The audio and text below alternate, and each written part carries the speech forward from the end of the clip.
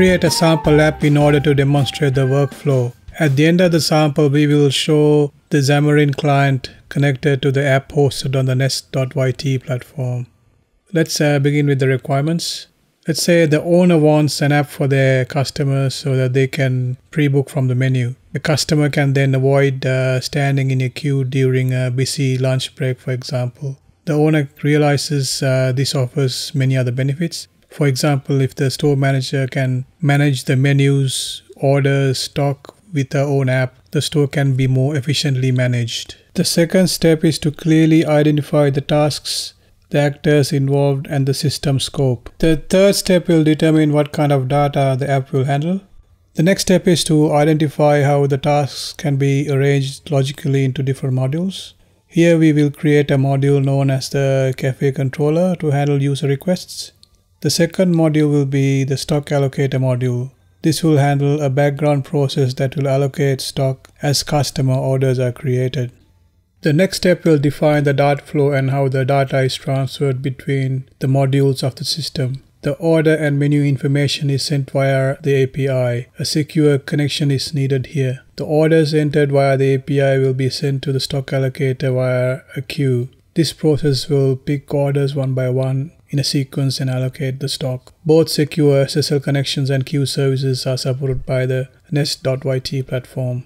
Next, we look at the kind of computing resources required for the app. We have allowed for a maximum of 500 requests per second when the app is running at its peak. This is during busy periods such as uh, lunch breaks. In the real world, you would, for example, study the number of hits the website is getting during peak periods and make a determination. We have also made allowances for two computer processors to handle requests as twice as fast. The app modules will require 768 megabytes of memory and uh, some more for the system and services. Therefore, we estimate a computing instance of about 1 gigabyte RAM will be adequate. As far as storage is concerned, we estimate 25 gigabytes of disk space is adequate. In summary, our system will require at least two CPUs, have a 1 gigabyte of memory with a minimum of uh, 25 gigabytes of storage. We will select a computing instance taking this specification into consideration when we deploy the app in the next step.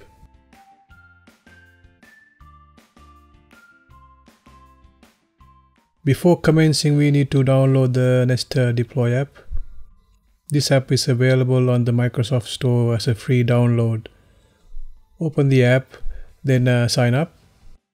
Afterwards, uh, enter the payment information. In the list of apps, we see the Hello World app. We will now create the West Point Port sample app. So here we enter a tag to uniquely identify the app. Give the app a name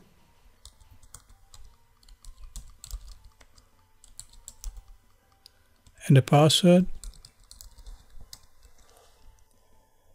Click proceed to move to the next step. The app can be a small one, one web page website or a complex web API with many modules. Here we select an app tier that will suit our purpose. For this app, we will select uh, the 2 CPU app tier.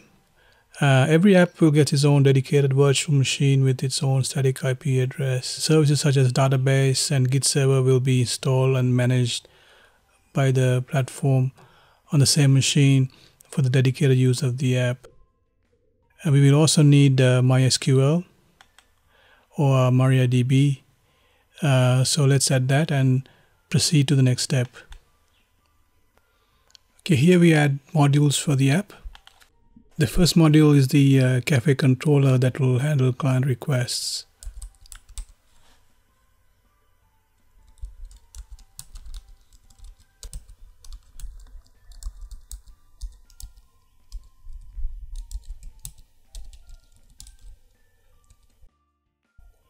It will be an API handler.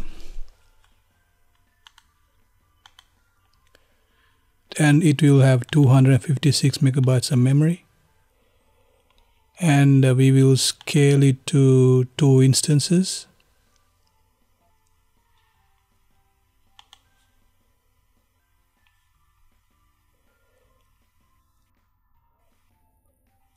The second module will be the stock allocator.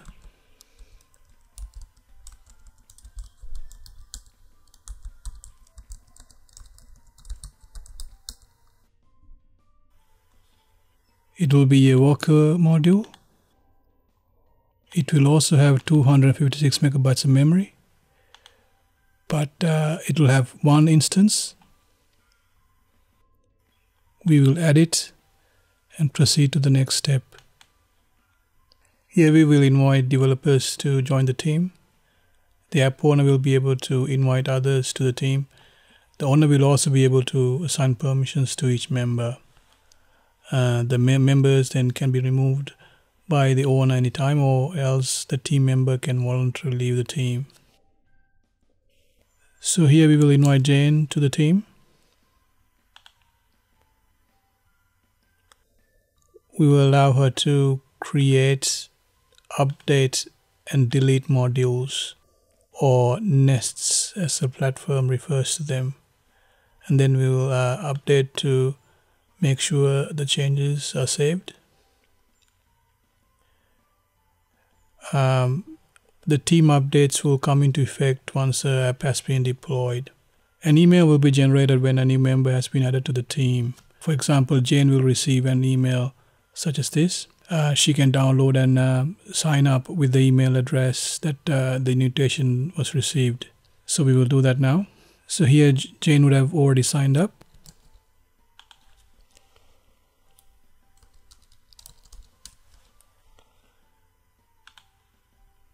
Here she will be presented with uh, the option to either create her own app or join the join the existing team. She will join the team uh, as follows. Now she will see the app in a list of apps. Next, uh, we will integrate the app with Slack. Once integrated, the notifications such as deployment status and other health alerts will appear on Slack. Once Slack has been integrated, any team member can subscribe to the Slack group and get app notifications. The team could use the group to collaborate and build the app.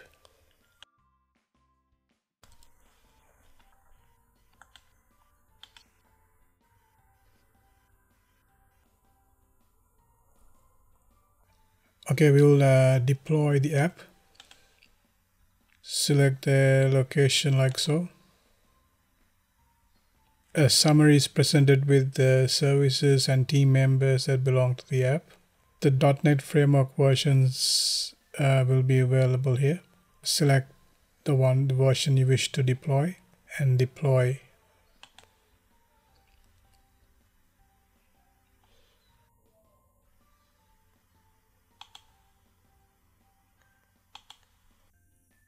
Okay, now the app has been deployed. You may click to see the the front page of the app without uh, opening another browser by clicking here. The site is accessible using the default domain name and a demo messages API has been installed by default. Next, uh, we will add a custom domain. There are a few things to do before adding a custom domain. In this example, we will, we will use the custom domain wpbot.co. First, ensure the custom domain points to the IP address of the app by changing the name server A record and any CNAME aliases on the name server. The IP address can be noted down from the default domain here. After the name server changes, wait for the IP address to be propagated this is an example of domain propagation. Next, add the domain and any aliases.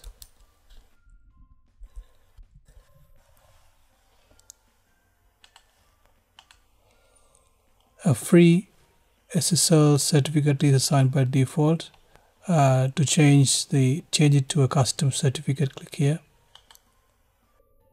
and uh, paste the certificate key in the chain. Now we can deploy the app again for changes to take effect. Each time any change is made to either the domain, nests or team members, the app has to be redeployed.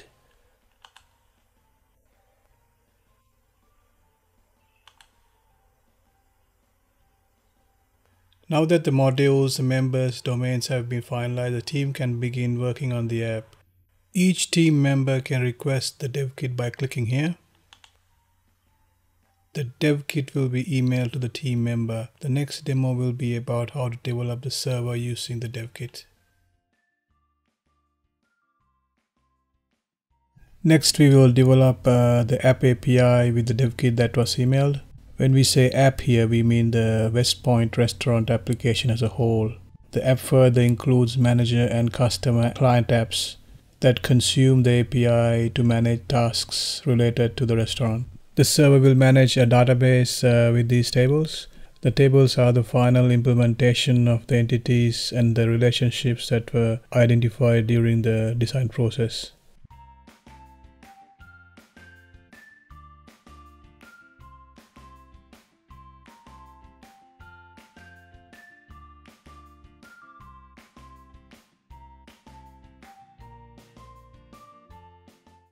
Before working on this sample, visit the Nester wiki and ensure the required tools are installed. Then follow the steps in uh, getting started to set up the environment. Now let's save the dev kit uh, to a local drive.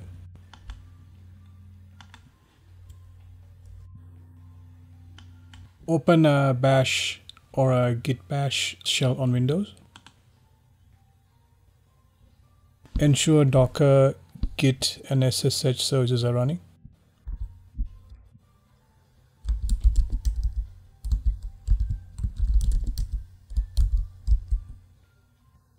The .NET Framework version used for the app must be installed here too.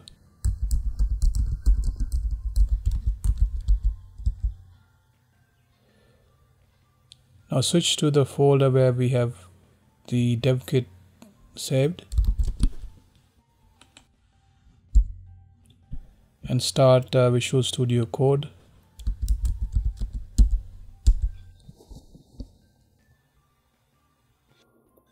Make sure the folder contains the dev kit and make sure the C Sharp extension is installed. The Nester develop extension has been installed and optionally the git flow extension has been installed. The git flow is optional we will use it in this demo since it makes uh, git versioning much easier. Now run the scaffold command to create the app development environment.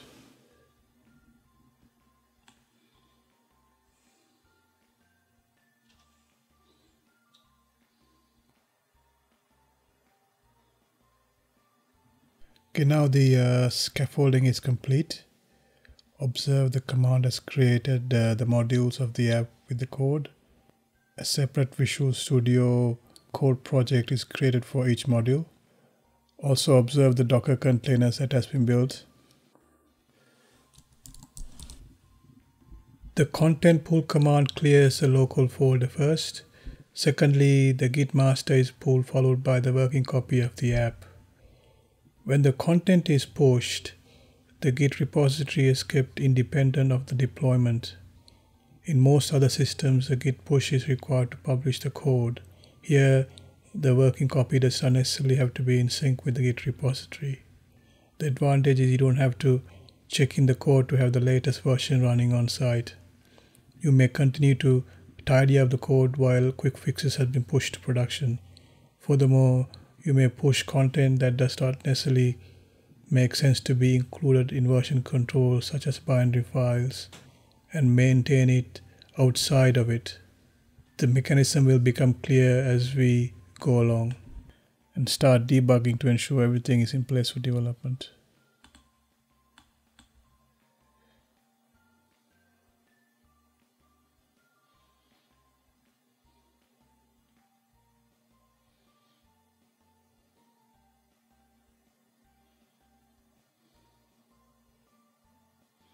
We can see the message flow by tracing the path of the message creation. First, we will enter a new message from the Swagger UI here. We will intercept the new create action in the Cafe controller module. The Cafe controller will pass a message to the stock allocator via the queue system. We will see how the message arrives to the stock allocator via the queue. Okay, so we will begin by setting the breakpoints. So we'll put a breakpoint here. In order to debug the stock allocator, we have to open another project. So move to the folder where the stock allocator project is located. Start another Visual Studio Code session. And uh, then set a breakpoint in the stock allocator. Breakpoint here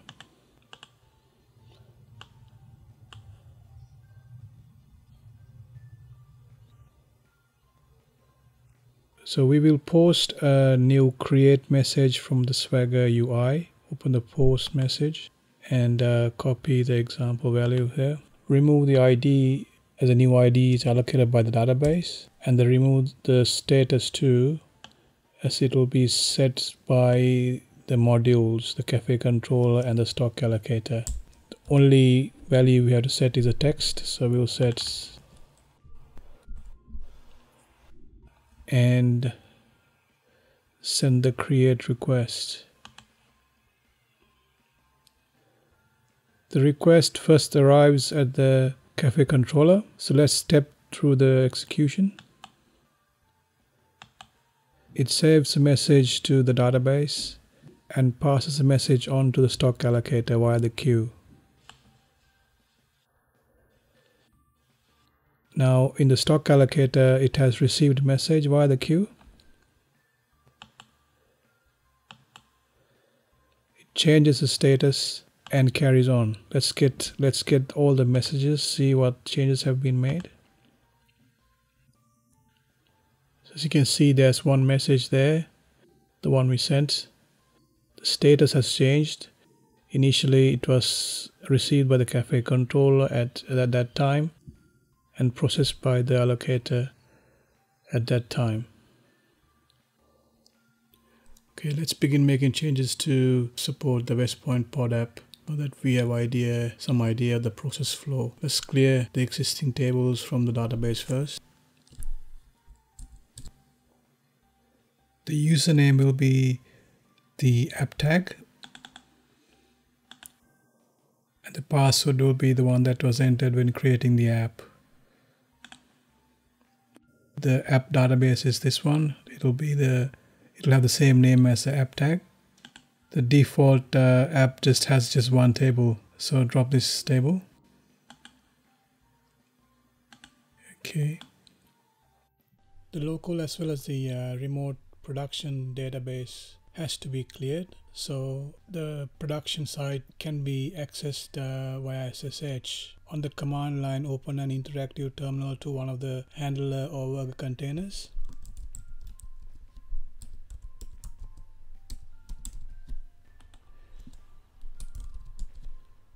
Now SSH to production.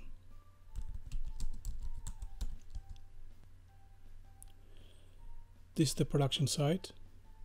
So you can see the files here. Let's open bash to make things easy. Now connect to the database. Instructions how to connect to the database is here. So you can connect via this command. Select the app database and show its tables.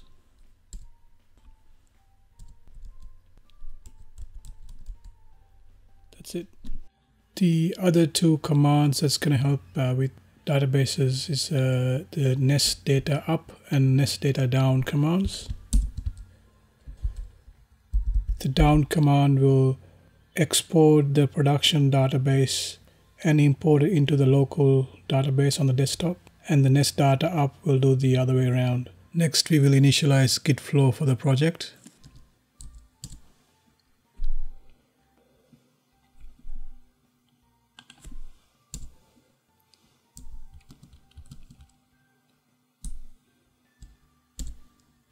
So we are prefixing each branch with the project tag.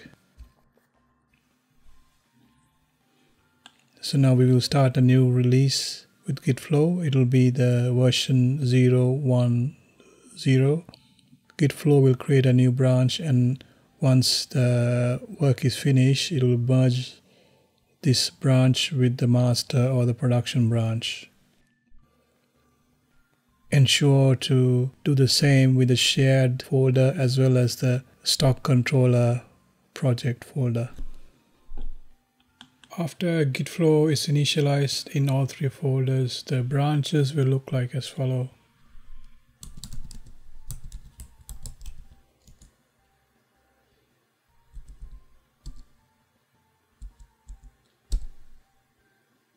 We will now implement the model classes followed by the controller and the views.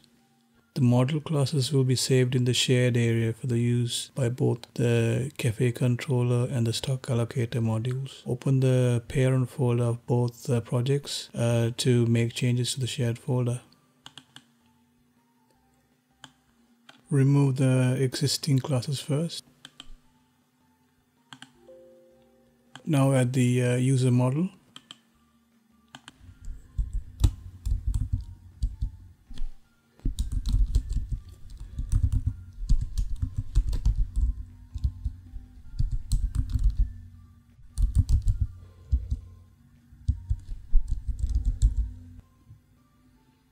Next we'll add uh, the menu, orders and stock. We'll need a database context class.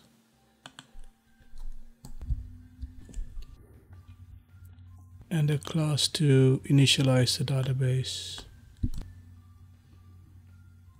The DB initialize class migrates the tables to the app database and seeds it with the preliminary data.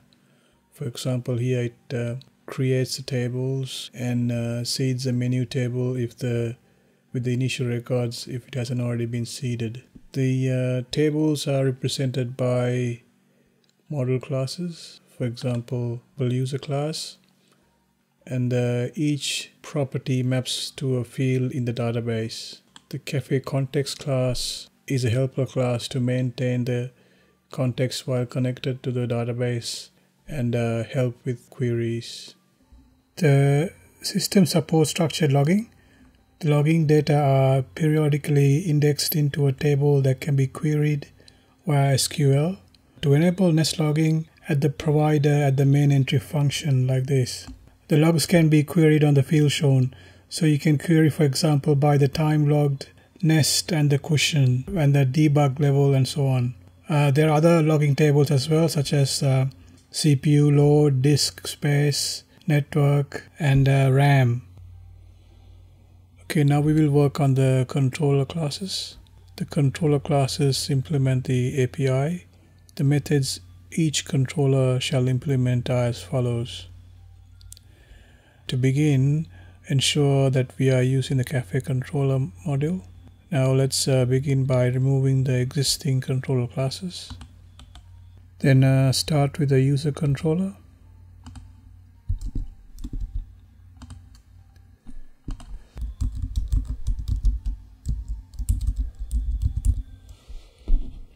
It's a standard controller with some additions to support the Nester services.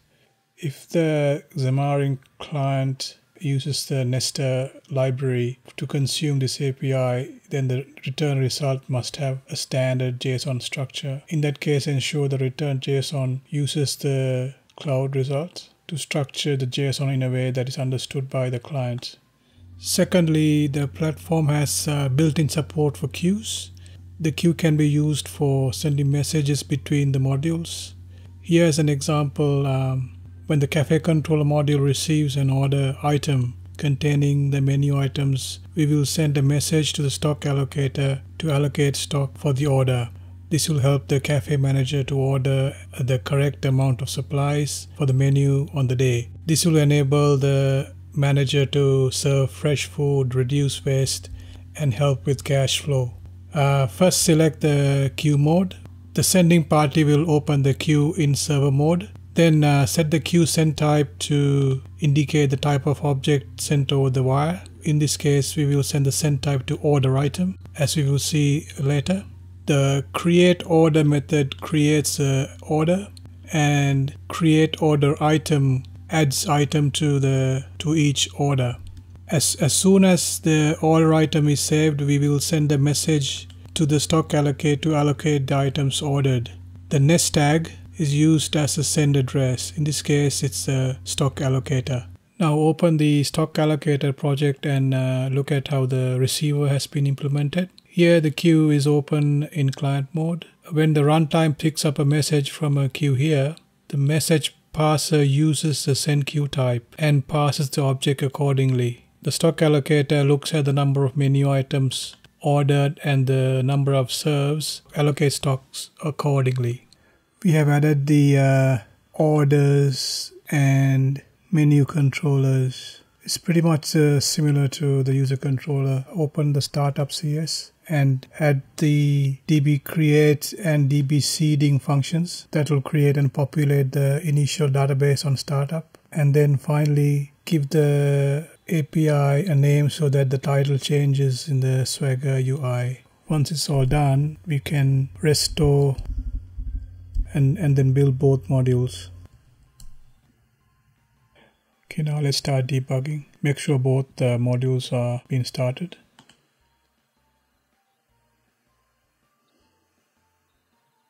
Now the first one would have created the tables. Let's go and check the tables have been created. Okay, so the tables have been created on the first run. Now let's go and create a menu item. First, uh, we want to check whether the menus have been seeded. So get all the menus menus are there the breakfast menu and the lunch menu now let's create a menu item remove the id because uh, the new id will be assigned by the database give it the menu id 2 for the lunch menu so make it a caesar salad and food type 2 for salad try it out. So the menu item was created. Let's uh, confirm that by by getting all the menu items. Lunch menu id is 2 get the menu item is there. Okay, once uh, everything is confirmed working, push the code to production and uh, complete the release with git flow.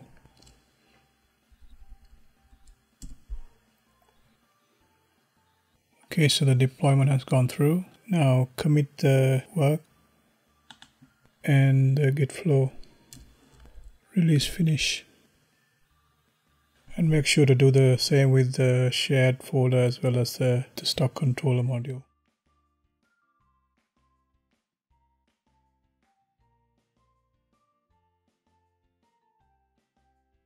And finally, we demonstrate how the API can be used by a client app. The Nest platform offers a lot of options with its API. We will explore different ways the API can be used. The first app is the Manager app. Uh, we have provided a prototype of what we think will be useful to the manager based off the requirements identified. And uh, this is a prototype of the client app. And here we begin the actual development of the client apps.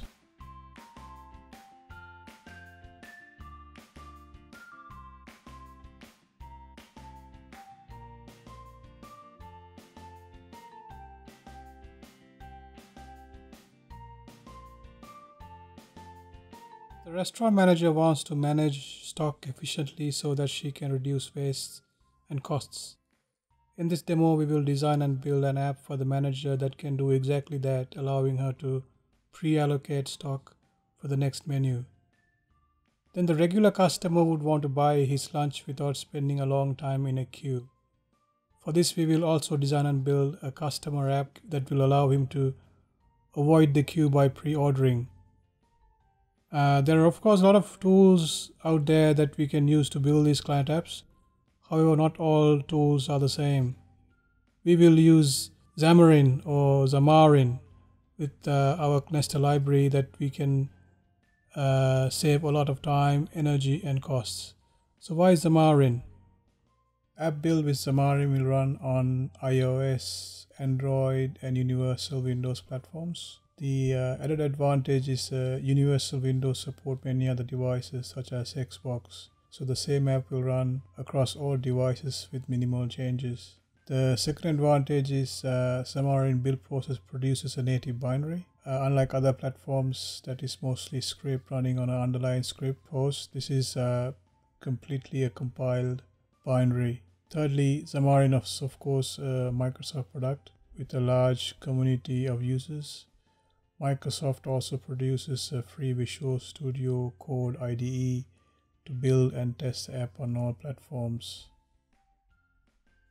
The Nest library is a .NET standard library that can be used to build client apps. It comes with functions to authenticate and query the API, saving the developer a lot of time and hassle. The .NET standard has converged on a single standard, bringing millions of API and lines of code that can be reused cross platform. The client and server can be developed to one language and standard, increasing the ability to share code and save time. Uh, the required skill set to develop the entire app can be narrowed down to just the .NET framework. The same developer can then build both client and server code. Okay, now let's uh, begin creating the manager client select the cross-platform project move to the next step the manager app will be a master detail app. Select the .NET standard code sharing strategy. Click OK.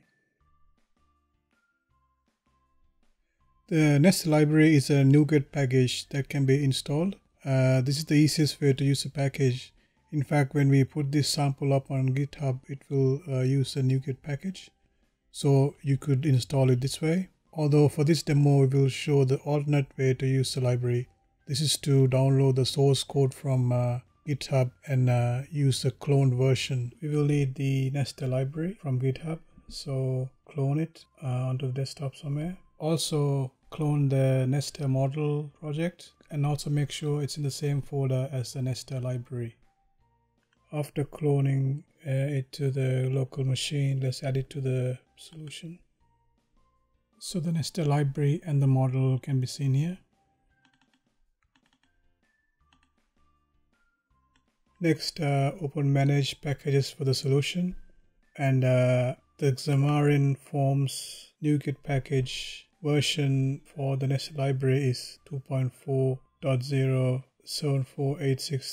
but the one that was installed is a much later version. So we'll try to match this one across all the other projects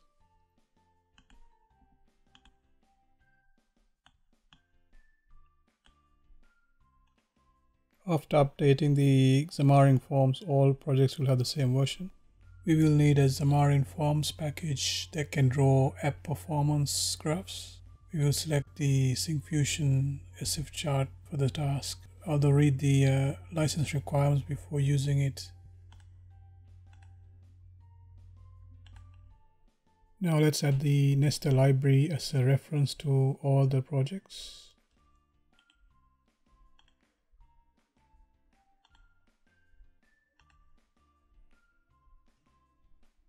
After adding the references, it'll look like this. we will do all uh, development and testing on uh, UWP platform and integrate other platform at the end. Let's uh, build and run the UWP project and confirm it works. Next, we need to implement the INester control interface. This interface is used by the Nester library for various tasks. The implementation detail is uh, available on GitHub. Next, we will create a shared library for client apps. Anything that is common to both the manager and customer client apps will be kept in this library. We will call it uh, WP pod shared and make it a .NET standard library as well. The database classes will be common to both clients, so we'll store these client classes here. Okay, next we will add the uh, customer client. It'll be a cross-platform app uh, same as the manager client. The, the template is different. We will select the, the blank template instead of the master detail. The code sharing methodology, same as the manager client.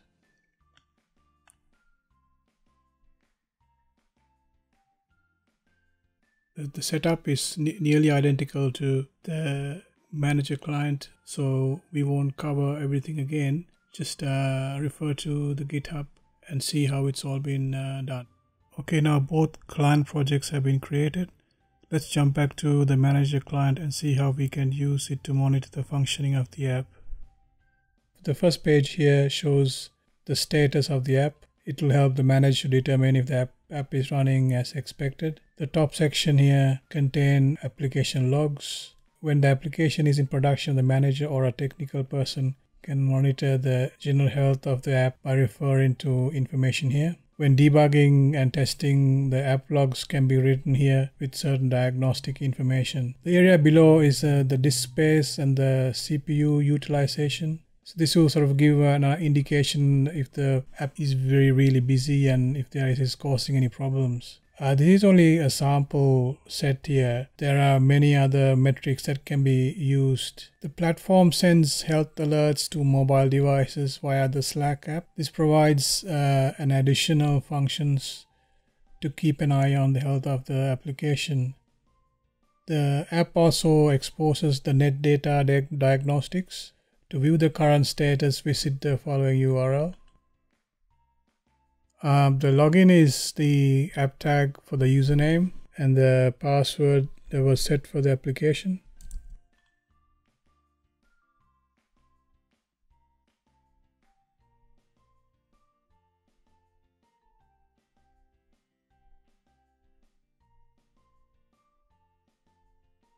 So it monitors more than uh, 60 different uh, metrics and it's all done very efficiently. It doesn't use as much uh, CPU or, me or memory. All these metrics can be queried via the Nester API. Refer to the wiki for more information. In addition, up to 7 days worth of uh, app logs combined with CPU, network, disk space and RAM metrics are available to be queried with SQL. So you may, for example, cross-reference event log critical errors with other import metrics to diagnose problems. Next, we can have a look at the order process.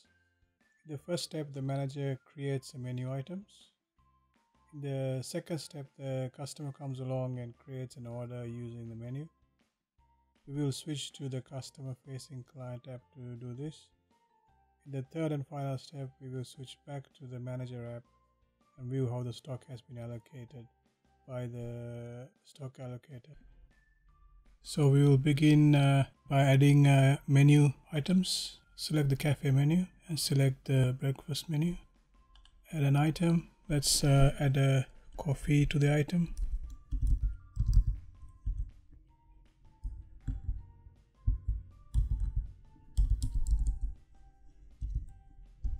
Let's say $8 hot beverage and save.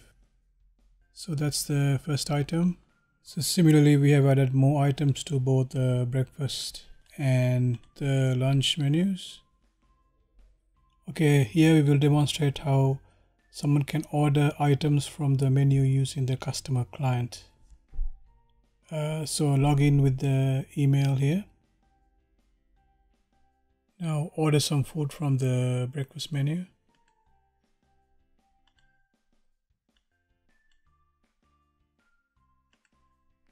Next, submit. This will uh, create the order and the stock allocator will allocate stock for the item submitted. We can see the allocated stock in the customer client later. And finally, we will see how the custom entered order is seen by the manager. So select the orders menu. That's the order and the two line items. Next, we will see how the stock has been allocated.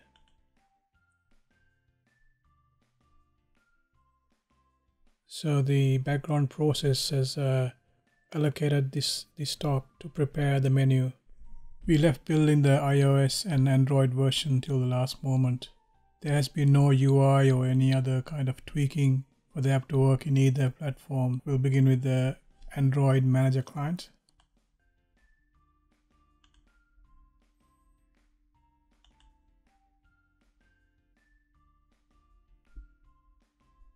This is the uh, iOS version running on a Mac Visual Studio. This is the, the status page.